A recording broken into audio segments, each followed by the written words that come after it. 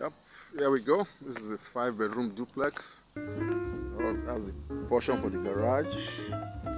It'll take at least nothing less than 10 cars. The senator door, massive door, swing door. I can swing on both ways, swing on both, both sides. You know, bulletproof, bulletproof, massive bulletproof doors. This is right here. This is nice holy. Living area.